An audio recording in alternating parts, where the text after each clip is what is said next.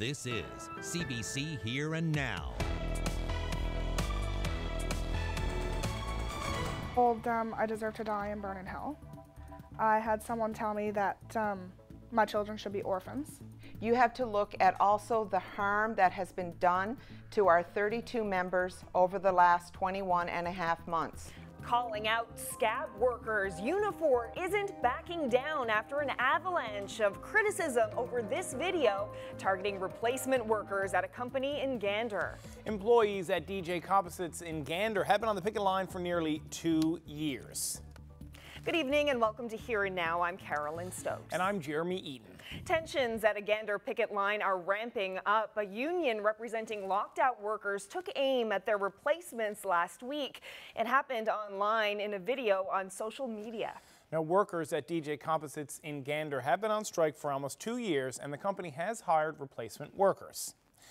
Now, here now's Garrett Berry is live in our Gander newsroom tonight. Garrett, what can you tell us about all this? Well, what you're seeing right next to me is one piece of this video. The video starts, by the way, with Meet the Scabs, and this is a photo of Ada Mae Rogers, one of the replacement workers. You can see her face here, you can see her name clearly in this video, which has been seen more than a 100,000 times. My first reaction was instant fear because I seen that my name and my face was out there and it wasn't just local anymore. For two months, Rogers has been crossing this picket line, a replacement worker at DJ Composites. I gotta make a living just like anybody else. Last week, she and her coworkers were named in this video posted to Unifor's page. Now, the Facebook messages are coming in. I've been getting messages from people Canada wide, from one side to the other saying, you shouldn't be doing this, you're a scab, you don't deserve to live. Um, every day there's new messages there guaranteed. They want that video taken down. Unifor says it doesn't support any threatening messages, but it isn't backing away. And on the picket line? Oh, we're ecstatic about it because at least now that we're back into the media. Names and pictures on these signs too. And they, they think that we're bullying them, but we feel like they're bullying us because if it wasn't for them, we'd probably be able to uh, have a contract negotiated and be already back in the building.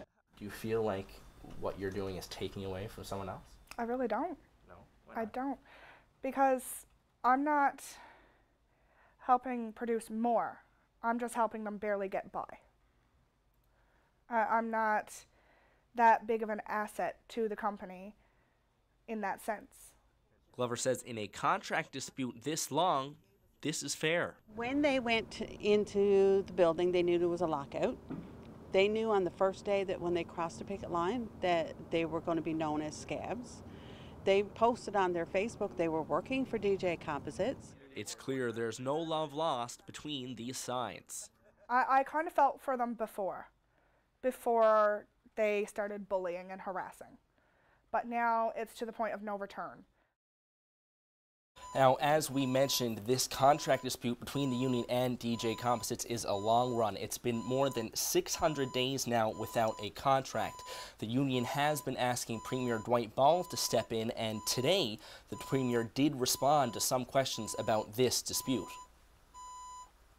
Right now, I am not going to react or respond to how any group would actually, they would see the whatever technique that they wanna, they want to use when it comes to getting people back to the table. The only technique that I want to see is get back to the table and find a way to get a negotiated settlement. As for the replacement workers that we spoke to today, they say they are not going to be shamed out of their workplace, and the union should be focused on management, not them. Reporting live for Here Now, I'm Garrett Berry in Gander. Well, meanwhile, Unifor's Atlantic Regional Director isn't backing down. She says nobody should be threatening scab workers, but people should look at the harm they're doing to the members locked out of work. And as for the Premier's comments that the union needs to come to the table, Oh, for God's sakes, what does he think the union has been doing for 21 and a half months? We are the only ones bargaining. You need to have somebody on the other side who's going to bargain fairly. Right now, the complete balance of labor relations has been thrown out of whack because the employer can break the law and not have to face any consequences. A 25 year old man is in custody after an incident that prompted police to draw their weapons today. At around 6 o'clock this morning, police were called to Kennedy Road, which is off Topsail Road. Officers had their guns drawn and they appeared to be negotiating with a man through a basement window. Roughly four hours later, those guns were put down and medical workers were allowed to enter the home. A man was escorted out and into an ambulance shortly after. Police say charges, including weapon related offenses, will follow. That was the big red flag. When the people upstairs said, I don't know what you're talking about, that was my big, my big, my heart just sank. A MUN student from Ontario arrived in St. John's to find the room she rented was already rented out. That story from CBC Investigates just ahead. More big developments today in the plan to establish a massive aquaculture project on the Burin Peninsula and in Placentia Bay. The provincial government is ready to jump in with both feet, and the company behind the project say it says it's full steam ahead, which means hundreds of jobs for a hard-hit part of the province. Terry Roberts has been following that story today, and he joins us live now with the latest. Terry?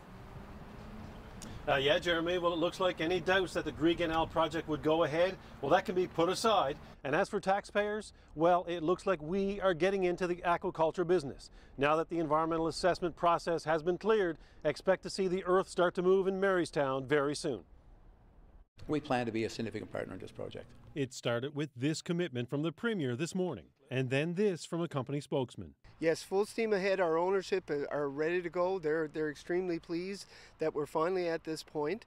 A $250 million investment, a massive hatchery in Marystown at the center of it all, about two years to build. We're looking forward to the point where we'll be able to, uh, to start up, and we're anticipating that will be within a very short period of time. And up to 72 sea cages like these in Placentia Bay eventually producing 33,000 metric tons of salmon. The company says they're escape proof the potential for disease dramatically reduced. When it comes to diseases, because we only have one winter at sea, we're decreasing the amount of time in sea, so that's reducing the, uh, the potential for the fish to get diseases. And the job numbers are big 700 direct, about 2,000 when you count spin offs. So the province is on board. The Premier making a commitment just days after the Grieg-NL project cleared the environmental assessment process, ending several years of uncertainty as the company fought off court challenges and critics who say the project would be bad for the environment. The previous PC government pledged 45 million for the project, but Dwight Ball says his government won't go that far. There's uh, quite a bit of provincial money that will go into this, and this is really about the economic activity that would be generated on the Burin Peninsula. A big announcement coming as early as this week. We've been in conversation with them, and, and all indications are that that's forthcoming. Uh, now, it'll take about uh, six years for Grieg to reach its uh, full peak production, and that's after the hatchery is completed. And that's when the benefits will really kick in for another Burin Peninsula community, St. Lawrence. I was told today that the Ocean Choice International plant in that community will be used to process all that fish uh, you know, creating about 120 year-round jobs. Reporting live for Here and Now, I'm Terry Roberts in St. John's. The federal and provincial governments have signed a new 10 year agreement that will see more than half a billion dollars spent in the province. The deal includes more than $500 million for infrastructure projects over the decade. Here's the breakdown. There's $300 million for projects to reduce greenhouse gas emissions, nearly $110 million for new urban transit networks and service extensions, and just over $100 million for projects to improve the quality of life in rural and northern communities by responding to their specific needs, and $40 million for community, cultural, and recreational infrastructure projects. Every day, that you get to come to St. John's to announce hundreds of millions to improve the lives of peoples and communities. This is historic in that sense that today is an investment in people. Infrastructure is about people. It's not only about bridges and roads and, and wastewater treatment, it's about improving the quality of life of people. The search for a man who went missing in the ocean off Tilting on Fogo Island has ended, with police saying they found no sign of the 54 year old. He was visiting from Ontario, and last Thursday he went for a swim in an area called Greenpoint. The search was extensive. It included ground crews, aircraft vessels, and an under underwater recovery team. And the search has ended for a German pop star who reportedly jumped off of a cruise ship en route to St. John's. The Aida Luna called the Canadian Coast Guard for help around 6 o'clock Sunday morning. A search ensued but was called off earlier today. The 33 year old who went overboard was a contestant on Germany's version of Pop Idol 15 years ago. The cruise line says he jumped. After the incident, the ship skipped St. John's and is now on its way to New York. The RCMP will be taking over the file as it is now a missing persons case. Well, a clear night in the province with a risk of frost for most of the island. Another bright and sunshiny day coming tomorrow with temperatures in the upper teens for most places. I'll break it all down for you coming up.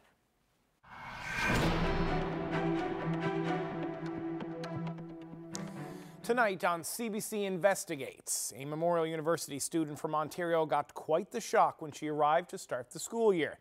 Two weeks ago, she drove up and knocked on the door of what she thought was her new home. But instead, she was met with puzzled looks from the people living there. Now, Here and Now's Jen White has been following this story, and she joins us live from our newsroom. So, Jen, what happened? Well, Jeremy, Elaine Searle had originally re rented a room in a house and was all set to start the fall semester, but those plans fell through in mid-August, just two weeks ago, just before she was due to arrive here in St. John's. So the pressure was on. Elaine Searle was left scrambling to find a new place. That's when she saw an ad for a basement apartment on Kijiji. Searle started emailing with the landlord talked to them for a couple days. I asked tons of questions. They had all the answers. And even my parents both had looked at the ad. Like it wasn't just myself. Um, both of them agreed that it was a good idea. Searle paid $380, the first month's rent without utilities, as a deposit. She drove across Ontario and arrived in St. John's five days later.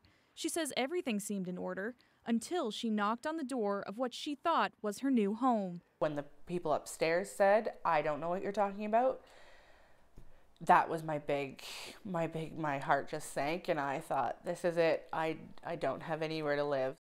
Searle says she was devastated. She got back in her car, called her parents and started to cry. It was hard to call my parents and say, you know, I that I can't do it by myself um, and that I needed help. And knowing that you know I've got to pay for tuition and all this other stuff, then you're panicking about you know, trying to find somewhere else to live and that I don't know if I have enough money budgeted right away and can I afford to go, you know, stay in a hotel and stuff until I've set myself up. Searle called a friend and hung out at his place until she could figure out what to do next. I felt really stupid. Um, I felt like I was an idiot, and luckily the RNC took me very seriously um, when I went in to talk to them. It isn't uncommon for us to receive reports of individuals who've uh, been fraudulently um, taken advantage of through sites like Kijiji. Constable Jeff Higdon couldn't go into detail about this case, but he confirmed that the RNC is investigating. He says there are things people can do to protect themselves when looking for rentals online find a trusted source or ask for references. A lot of uh, landlords will actually ask for references from potential tenants, but tenants could also ask for a reference from a landlord as well. Asking for identification uh, and verifying that the person who you're dealing with is in fact, uh, you know, legally who they say they are, um, as well as maybe providing some proof that they are uh, legally entitled uh, to that property. And if something doesn't feel right, just walk away from it and find the product or service somewhere else. So there is a happy ending to Elaine Searle's story. Just hours after this whole ordeal happened, she did find a new place to live. And she says while $380 is a chunk of change to lose for a student, she says she's really lucky that she didn't lose more than that in the terms of a damage deposit or first and last month's rent. Jen, this isn't the first rental scam that we've ever heard of in the city recently, is it? Yeah, that's right, Jeremy. I reported on a case just a couple of weeks ago. A property management company in St. John's had received complaints from five people. Crown Property Management said a man was posing as the landlord of one of its rental units. He did multiple viewings and then collected money from the potential renters as deposits. Now the RNC says it has received nine complaints in that case. We do have a suspect. Uh, investigation is ongoing. Um, there's very little that we can do in terms of offering advice on how people can protect themselves. Um, in most of the cases we've seen with this one is that it wasn't a matter of the victims being, you know, doing something negligent. They did their homework. They did their best. Um, you know, they did, did, their best to pre prevent them this from happening. Um, but this individual, of course, presented themselves falsely, and, uh, and unfortunately, this happened. Now, Higdon says this type of scam is not common here in the city, and although the RNC has seen a spike in cases over the last few weeks, weeks Higdon considers it an isolated incident. Reporting live for Here and Now, I'm Jen White in St. John's.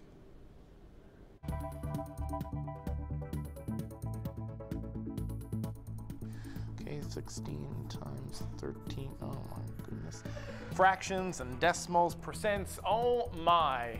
I decided to come to the math department to take their placement tests, and I realized that I'm not very good at math, but I did learn a lot. I'll have that story coming up.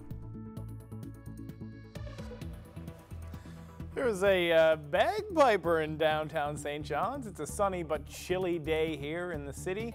Carolyn, Carolyn Stokes will have your forecast coming up.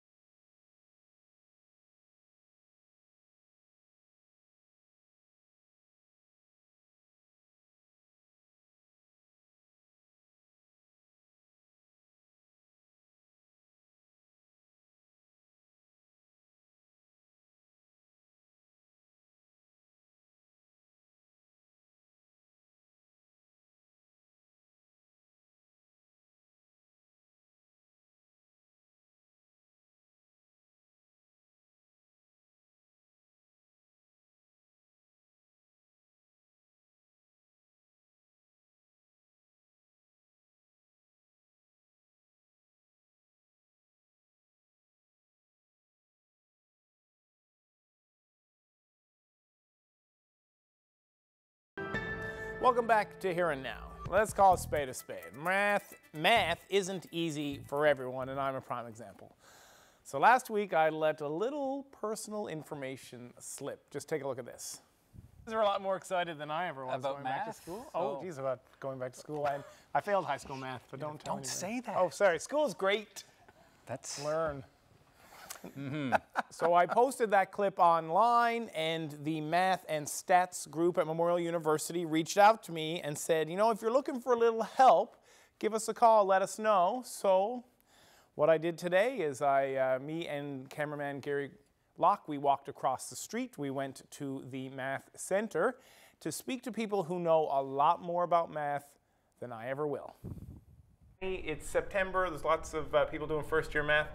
What do you see from these students? Are they scared, frightened, or how are they feeling about math? Well, well, some of them are scared for sure. Some of them are just sort of overwhelmed about the uh, entire university experience. Uh, math is one aspect of it, but not the, certainly the only one.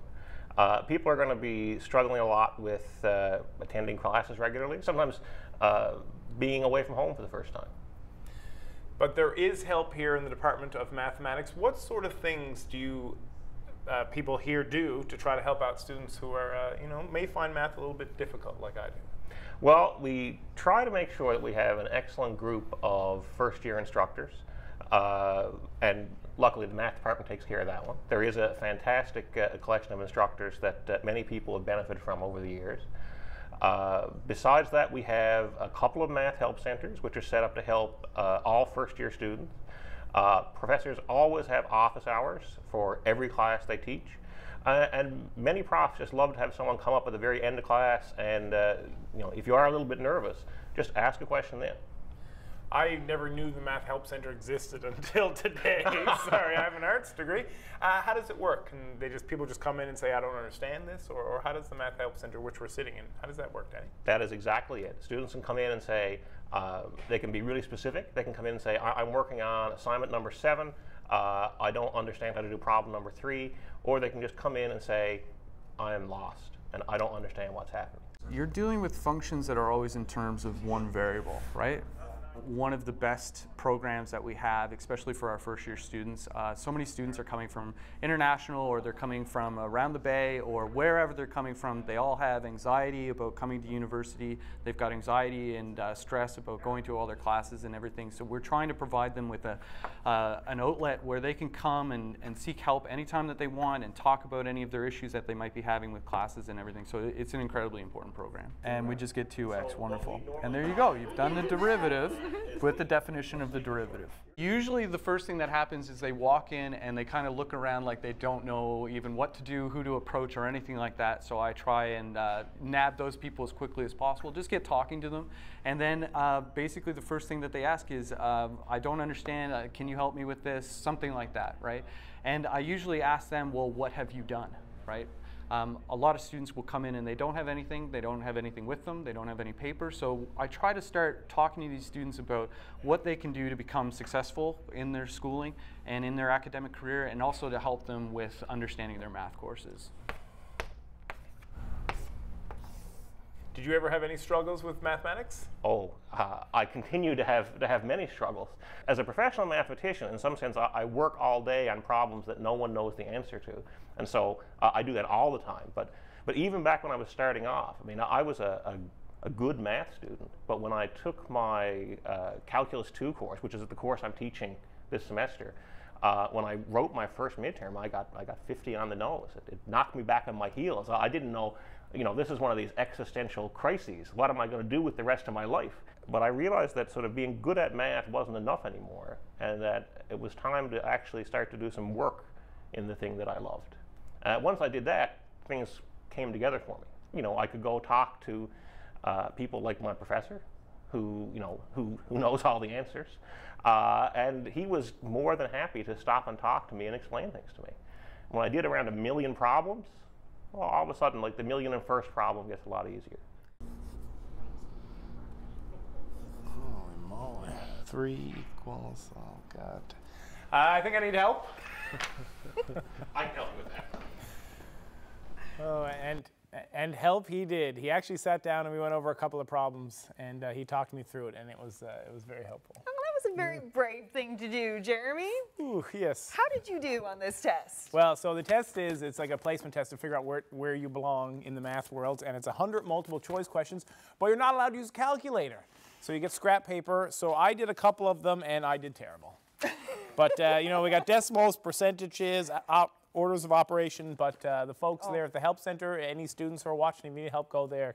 They even helped me. Oh, so maybe I would have passed high school math if I had Danny with me. Who's to say? Well, I think a lot of people can uh, relate to your struggles, and I know I'm looking at this test, and this is just filling me with anxiety. It's, not a easy. thing. It's, not, easy. So, and it was interesting to hear that the professor himself uh, Got got 50. a 50. So there you he go. He has a PhD in math, too. Yeah. Just saying. Well, Jeremy, I don't have a gold star for you, but I do have a few rainbows. Oh, that's nice. Yeah, I got a few photos of rainbows uh, from viewers, so I thought I'd show them off to start off the weather forecast. This is from Corey Williams. This is the Bell Island area. And then I got another one from Glenn Carey. That's La Manche. And, uh, Whoa. Hilliard. He said that uh, hundreds of people pulled off on the highway and got out their phones to take a picture of, of this rainbow. That was beautiful. Yeah. Yeah, so there you go. Well, thank you for that.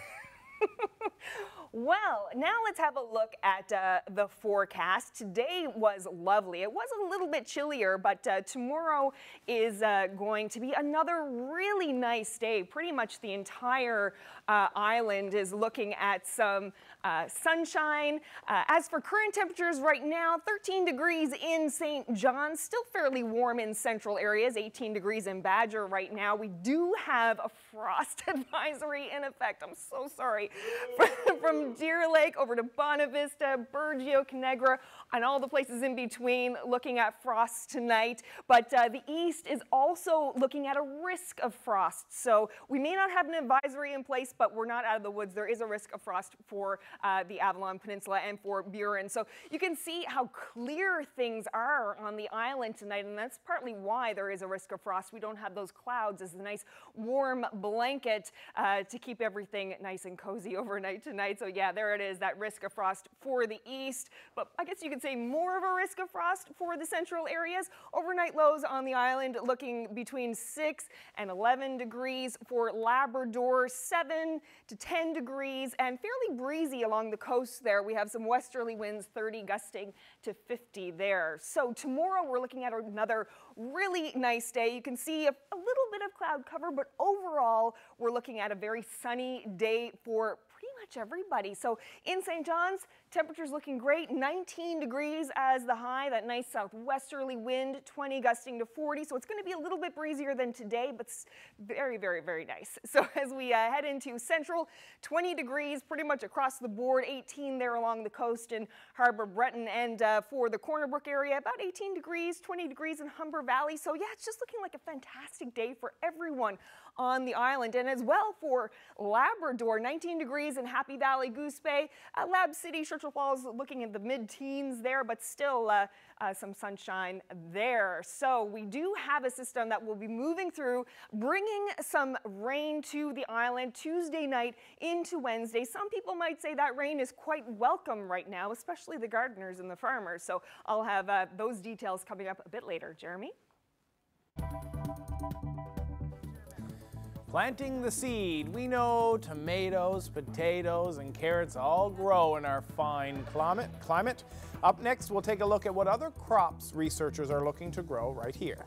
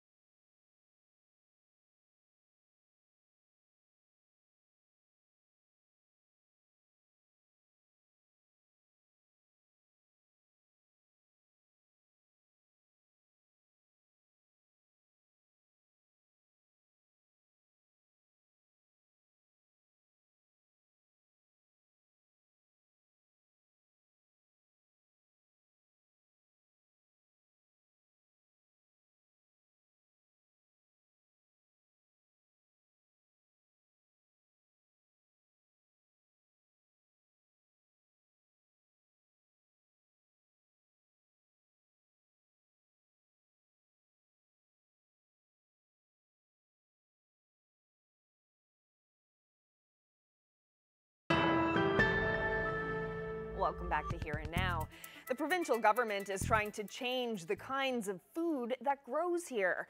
At a research station on the west coast, things like asparagus, kale, and other cold crops are flourishing. Here and Now's Colleen Connors took a tour today and discovered how this local food can end up on your plate.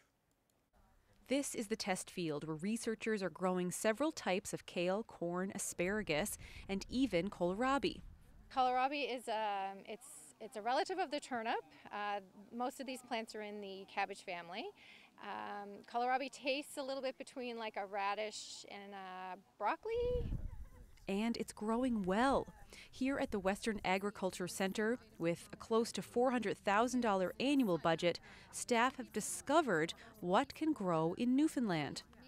This is producing food locally. This food that's produced here has been proven to be of higher nutritional value. It lasts longer uh, in your refrigerators. Today, officials with Land Resources showed off the new crops at a public announcement. We only grow 10% in this province of what we consume. We import 90%. With the hopes this food will end up in a grocery cart. This is the first step in getting farmers to adopt new crops and new technologies. So we demonstrate it here, we take it to farmers' fields, then is the next step. They will grow it on a larger agronomic scale, and then they will make it available to the grocery stores or their home farmers markets. This, these sites, these fields are dispelling myths as to what it is that can happen in our province. Like wheat at this field in Pasadena. It all goes to Simmons Farms down the road for cattle feed. I realized that these crops are actually cool climate crops, and we were able to grow these for quite some time. We just haven't. Now that the government is funding the harvest of many different types of vegetables, agriculture could change how we eat. The goal of these test fields and growing things like this beautiful winter wheat is to see what will do well here and what people will buy that is grown right here in this province so they don't have to depend on food coming in on the ferry. Colleen Connors, CBC News, Pasadena. Seven weeks ago on the Danforth, people were out enjoying a warm summer evening. Then shots rang out. Two dead, 13 wounded, including nursing student Danielle Kane, who ran to help with her boyfriend, who's originally from the Northern Peninsula. Ian Hanomansing spoke with her for this piece that ran on the National last night. No one expects to like go out on a Sunday night and then like have their life completely turned upside down. Like no one expects that. Um, like it was it was just an ordinary day really and like we hadn't planned to go there like like a week ahead of time. It was just we literally planned like hours before the event, like before the incident, to go to that restaurant for my friend's birthday. You don't think when you hear sounds like that that they're anything other than fireworks. Like I thought it was just fireworks. Basically, as soon as we step out, I made eye contact with who I didn't realize until moments later was a shooter because he immediately started shooting at us. And um, that's when I, once I saw the shots, like I turned and like I felt, like I felt the shot, like, um, and immediately my, my legs like buckled under me. I don't want to dwell on that night. Um, yeah. But if I can, I just want to ask you a couple other questions about that night. For sure. One is,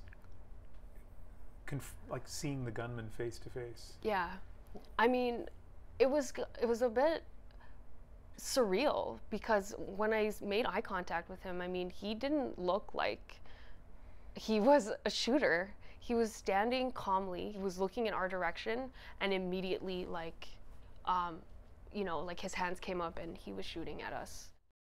Kane spent days in intensive care at St. Michael's Hospital, heavily sedated. The bullet hit her spine, then her stomach, before exiting her body. Somebody has to come in that room and tell you the extent of your injuries, including the possibility you might not walk again. Do you remember that moment? Um, yeah, that was a hard day. That was um, because obviously, you know, prior to to the incident, like I had all these ideas about like what I was going to do with my life and like what the next like five, ten years were going to be. It is going to be different. A lot of people, understandably, have expressed their anger at the shooter, but you may be surprised to hear how Kane feels about him. I've um I guess I oh, like I, I feel comfortable disclosing this. Like I mean I've had a history of depression.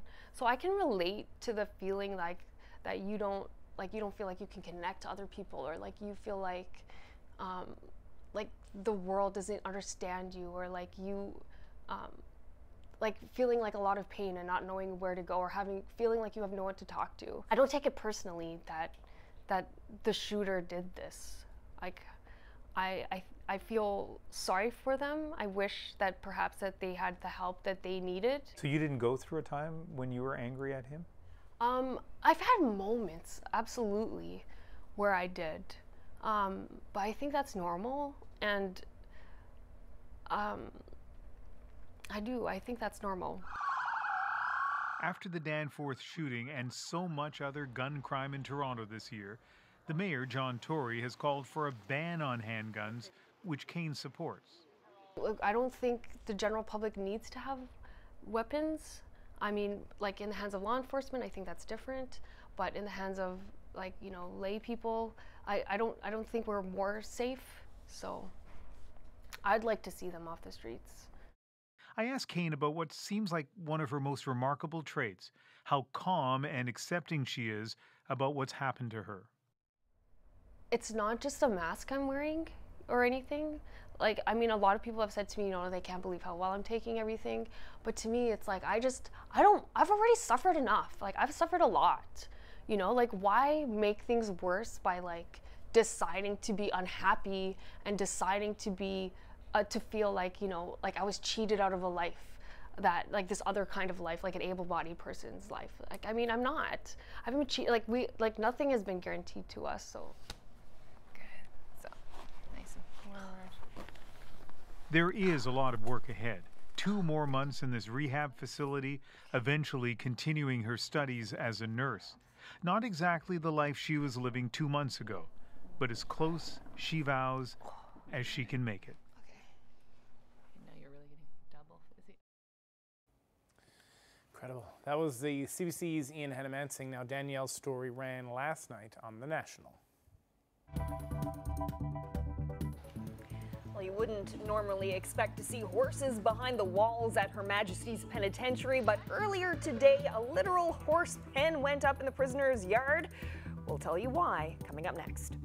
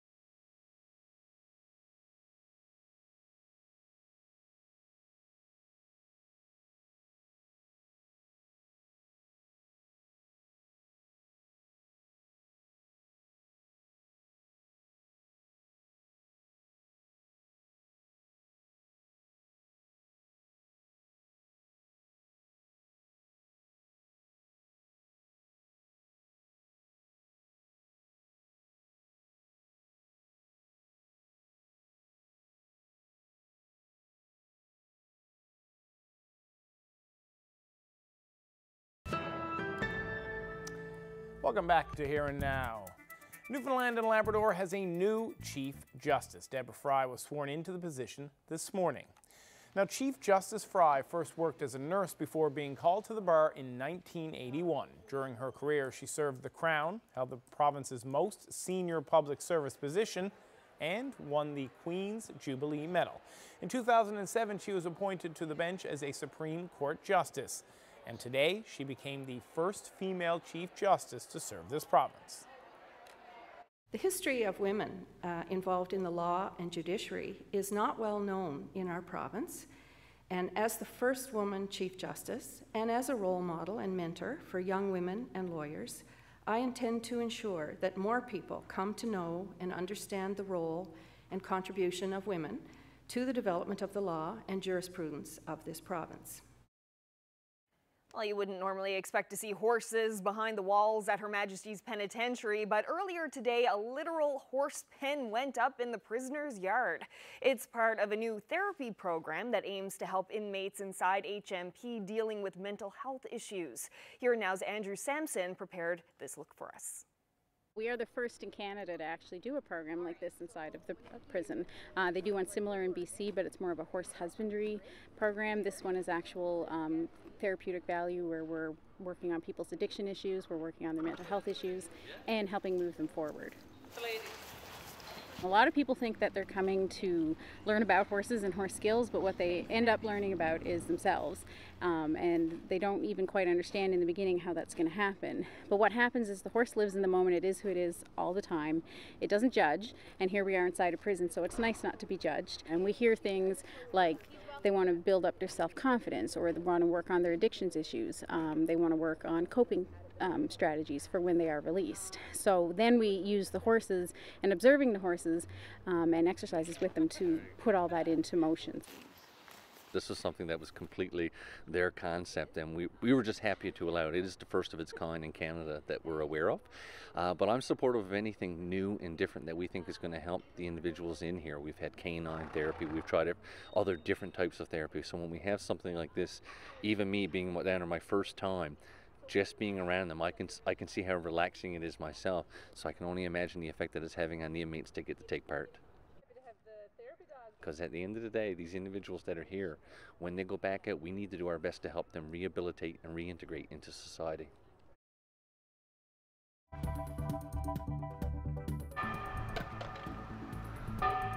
What a beautiful evening in St. John's.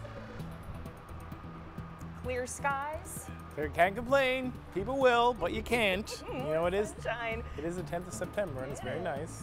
We have more sunshine coming tomorrow.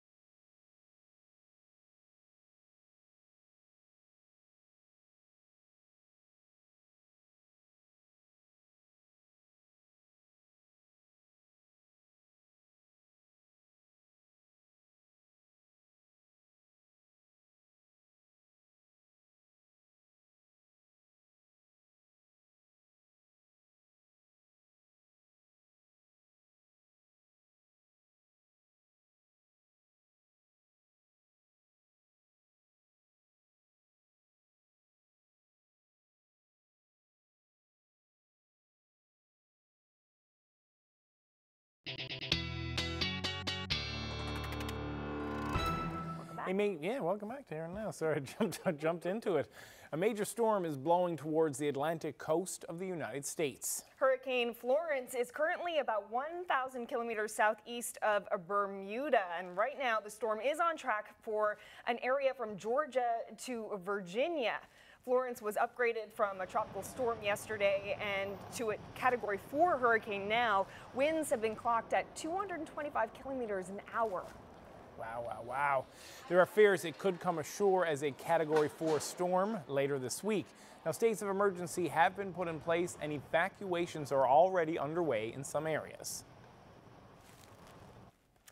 Yeah, so some pretty serious stuff for uh, the Certainly Carolinas is. and the east coast of, uh, of the states right now for sure.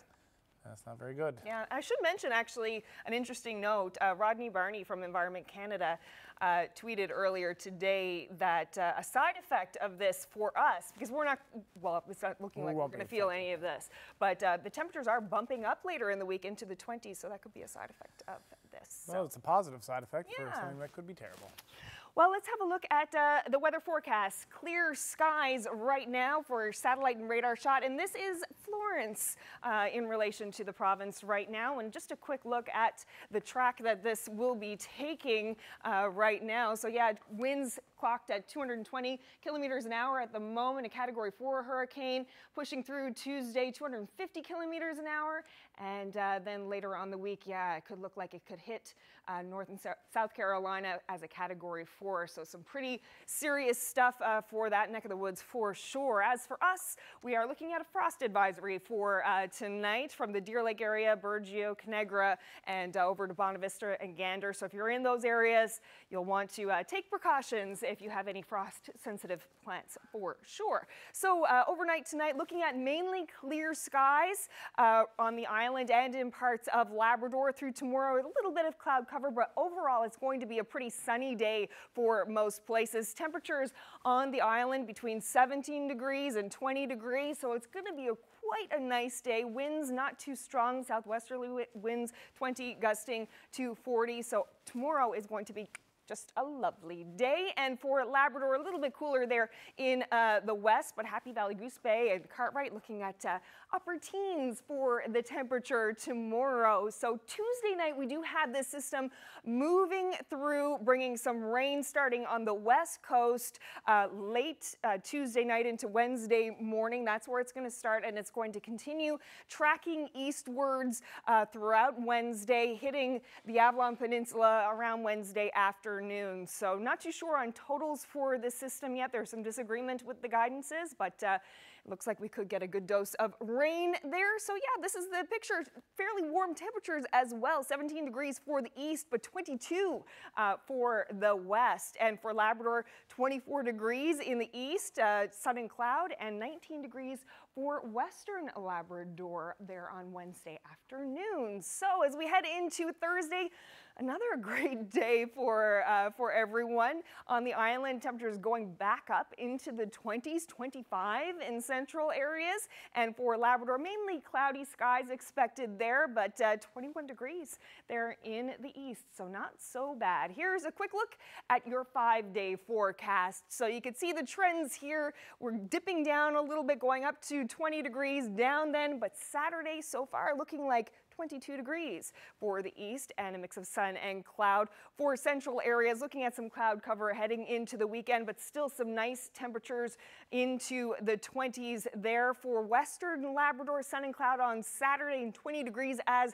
the high in Labrador. Looking at some showers heading into the weekend there, but temperatures still in the upper end of uh, the teens.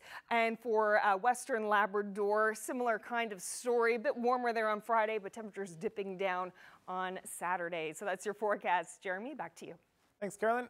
A group of fishermen in British Columbia has introduced a controversial plan they say will help the endangered whales in the coastal waters. The group wants to cull thousands of seals and sea lions who are competitors for the orca's food supply. Greg Rasmussen has the story. Beneath these waters, millions of migrating salmon are making their way upriver to spawn. Oop, there's a jumper right there. But their numbers have been falling, and and some blame a fish eating predator. We're looking at the harbor seals coming into the channel to rest. Ken Pierce says seal populations have boomed since hunting stopped in the 1970s. They're here because of all the sockeye salmon in the river right now. That's their food base. There are more than 100,000 harbor seals in BC waters, and his group estimates millions of salmon are being eaten by seals and sea lions. What do you want to do to the seals and sea lions? Bring them back into balance, back into historical balance over the last 50 years, which numbers. But kill a bunch of them, essentially. Harvest. We have a market for it. He says the biggest obstacle to a hunt would be a large public backlash. Uh, they, yeah, they are cute. I'm the first to agree. But now, now see that in 80,000. Are they cute anymore? No, they're a nuisance. I've always enjoyed fishing, especially herring, but this is taking the fun right out of it. Here, sea lions swarm a commercial fishing net. You talk to anybody, ourselves that have been in the business, anybody that's associated with, and uh, almost anger comes out when you start talking about that we can't get something done. The plight of BC's southern resident killer whales, which are endangered, could help their cause. The whales are in trouble in part due to a lack of their primary food, Chinook salmon. But scientists say killing seals and sea lions might not have much of an impact. I don't know if there's any good predator control study that's ever demonstrated that killing off a predator has actually led to more prey. Proponents of the hunt, though, say they're open to scientific study. We're, we're not talking about taking all the predators out. We're take, we're talking about putting them in a balance, and that's that's the difference. Do you think it's going to happen? Yep, absolutely. The group says it's continuing to build support and has a meeting later this month with the Department of Fisheries and Oceans. Greg Rasmussen, CBC News on the Fraser River. Ontario Premier Doug Ford announced today he will invoke the notwithstanding clause in the charter for the first time in the province's history. Well, guess what? I'm going to use every tool at our disposal to make sure we hold up the Constitution and the democratic right of the people of Ontario. And I will not waver from representing the people. Ford is taking the unprecedented measure in order to pass legislation which an Ontario judge ruled this morning was unconstitutional. The judge said the proposed law limited the right to free expression by changing the size of Toronto City Council after the municipal election campaign had already started.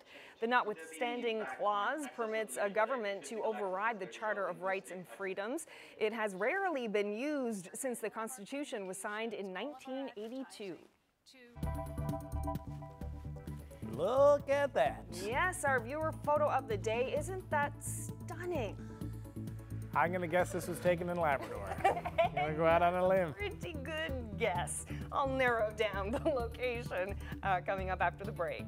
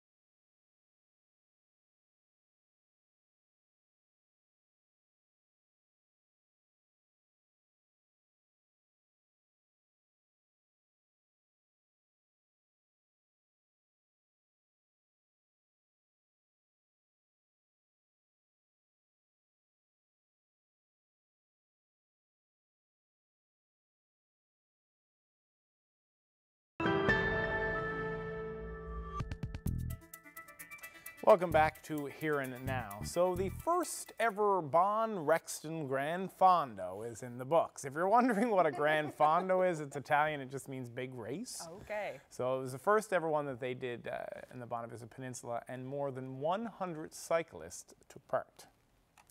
So the fun bike ride took place on the Bonavista Peninsula on Saturday and Sunday. There was a 130 kilometer ride and then a shorter 50 meter, sorry, 50 kilometer, 50 meters wouldn't be much of a ride, 50 kilometer ride as well. Yeah, but it wasn't uh, just the grown-ups. Kids got in on the action with a shorter bike ride of their own. Based on the success of this version, there's already talk of doing it again next year. It's nice that it went well. Wouldn't be for me. 130 kilometers. So basically, you did, did a loop around the uh, the Bonavista Peninsula, and then the 50 kilometer ride was to go to uh, Catalina and back. Oh, it's a long haul. And then they did they partied at Port Rexton along the way. Now, if you have a weather picture that you'd like us to uh, to put on the air, you can send us. I, I think I'm reading your lines. no, no, no, no. NL, pho- NL photos at cbc.ca, and here is tonight's picture. Yes, isn't this just stunning? You know. Now, do you want? Can you tell me which part of Labrador? Well, this was sent to us uh, from a gentleman in Lab City. Uh, so, yeah, Larry Jenkins sent this in. I'm not entirely sure if this is actually Lab City, uh, but he had Larry Jenkins Lab City there, so. Now, I, uh, I spent uh, I spent a year and a half in Lab City working for the Labrador West. Sorry, working for the CBC, and I had the pleasure of seeing the Northern Lights on many occasions, and it is a very humbling experience. I bet. I've never seen it myself, but it's definitely on my bucket list of things that I want to see at some point in my life because it just looks amazing. Nature. Nature, weather, and people with their cameras today uh, are taking such good pictures. So yeah, if you do have any photos, it's NL Photos at cbc.ca. That's it for us. Have a great night, everyone. We'll be back doing this all again tomorrow.